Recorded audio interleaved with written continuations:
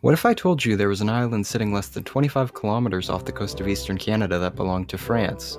Well, for a small percentage of you, this is old news, in which case I recommend turning the video off now. But for the rest of you, let me tell you about a collection of eight small islands called St. Pierre and Miquelon. Look at a map of Newfoundland without any islands' names being marked. Can you pick out an obvious outlier? It may look like any other small archipelago from a map, but the islands themselves are very different from the rest of the province in just about every conceivable way. Let's start with some history. Despite the islands being first discovered by a Portuguese explorer, Jacques Cartier did what was on trend for Europeans at the time and disregarded all indigenous people, marking it as French land in 1536. From there, St. Pierre's ownership changed hands between the British and the French a comical amount of times as they both did their best to colonize every last bit of land in the New World, even tiny, insignificant archipelagos off the coast of Newfoundland. Through plenty of wars, the islands eventually ended up in the hands of the French Empire and has remained that way since 1816 when the islands were resettled. St. Pierre's title has changed over the years, but for right now, France seems happy calling it a French overseas collectivity.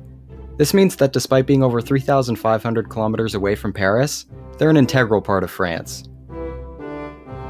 Okay, but what makes these islands valuable? Well, fishing is obviously a mainstay on the island, but since the fishing is so good on the east coast, and since maritime boundaries between Canada and St. Pierre were not drawn out, there have been a few disagreements over their fishing rights.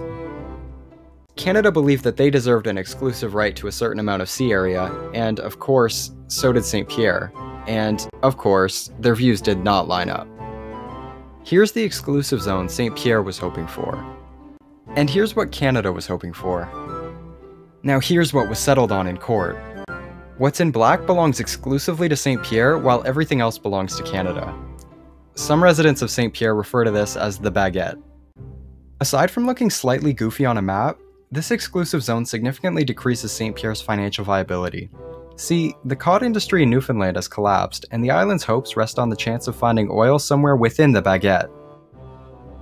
Today, the islands import over 60% of their goods from France because it turns out a small island in the Maritimes without much in terms of vegetation or fish is pretty difficult to source from.